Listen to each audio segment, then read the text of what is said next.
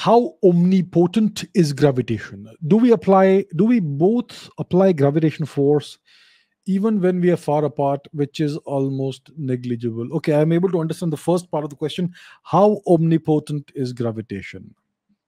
Gravitation is all omnipotent. So i am sitting here in my study in this room yeah? I am right now feeling the effects of the gravitation of the planet of the earth which is right straight down that's where the force is coming from.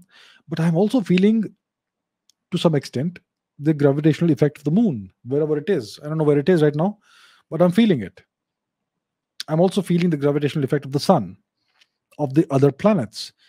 However little it is but it's there. And i'm also and so are you we're all also feeling the gravity of the other stars that are out there in our galaxy. We are feeling the gravitational effect of the black hole at the center of our galaxy, Sagittarius A. And we are feeling the gravitational effects of every other star, planet, galaxy, dust particle, etc., that exists throughout the universe. Gravity is a long range force. It's it's uh, it, it's an its range is infinite, right?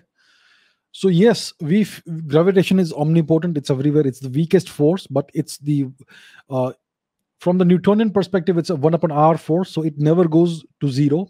You always feel a certain component of uh, of gravitation of every single particle and ma- massive object that exists in the, in the universe right?